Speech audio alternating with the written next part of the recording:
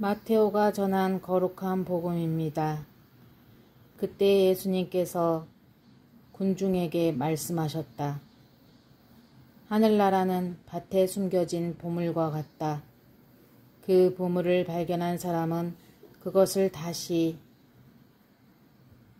숨겨 두고서는 기뻐하며 돌아가서 가진 것을 다 팔아 그 밭을 산다.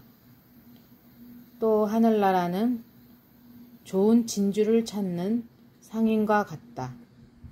그는 값진 진주를 하나 발견하자 가서 가진 것을 모두 처분하여 그것을 샀다.